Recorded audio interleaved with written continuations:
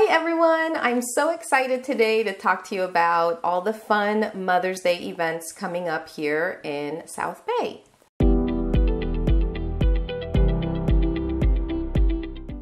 I'm Jennifer Davidson, residential real estate broker here in South Bay, Los Angeles. As a mother myself of an adorable seven year old, I know how we sacrifice, we give, we give, uh, our plates are extremely full. So why not go all out for Mother's Day? All right, so a really fun place that I actually go to all the time with my seven year old is Terranea. Terranea is in Rancho Palos Verdes and it's a luxury resort. Um, I go once or twice a month with my seven year old, and we just love walking the beautiful grounds, listening to the waves crash, uh, eating delicious food, and just being fully relaxed and present in the moment. Um, so Terranea is actually going to do a really fun event in their ballroom. They're going to have a brunch buffet and um, they have reservations from 9:30 a.m. all the way up to 2:30 p.m. Make sure you make your reservations right away. And um, they're going to have a waffle station, charcuterie station, seafood, a station for the kiddos. Uh, they're going to have acoustic live music, so it's going to be super fun. Okay, so don't forget to try the mango passion fruit cheesecake. It's going to be delicious in the ballroom. Um, also, if you want something a little more intimate, then you can go to Marcel's restaurant. They're actually going to do a three course meal, also with music, and uh, that one's going to be also in the morning until early afternoon. And it has stunning views. It's right in front of the ocean, so um, that restaurant's a lot of fun as well. Now, after eating, you can also do some other fun things. They're going to have pony rides horseback riding, archery lessons. Uh, my son actually did do the archery lessons and they were really awesome. He had so much fun doing that.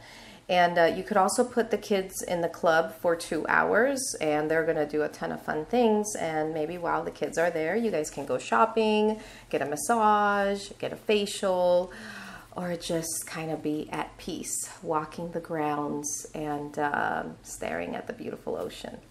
All right, so two more spots that I really, really enjoy going to are the two Shade Hotels. So um, there is one in downtown Manhattan Beach in Metlox, and it has a fabulous restaurant called Zinc and they're going to be doing Mother's Day brunch with live music from 9 a.m. until 3 p.m. Make sure you make your reservation very soon.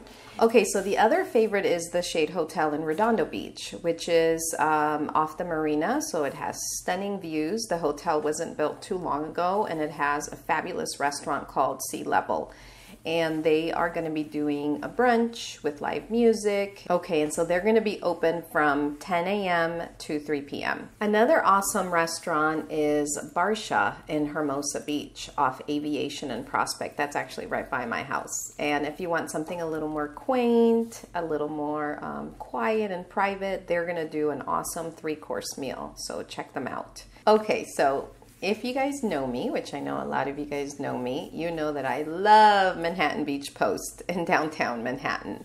And they're going to be open from the morning, 10 a.m., all the way up until 9.30 p.m. So depending what mood you guys are in, or if your kids are older, or maybe the kids are away. Um, and so you can go to breakfast, lunch, dinner, and uh, MB Post is fabulous.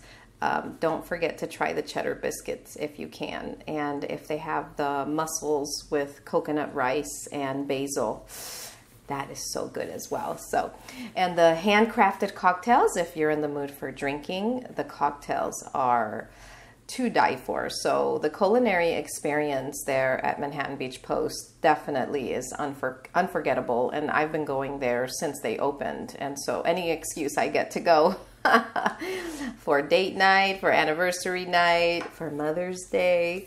Um, I would highly recommend Manhattan Beach Post to celebrate. All right, you guys, so thank you so much for watching my video today.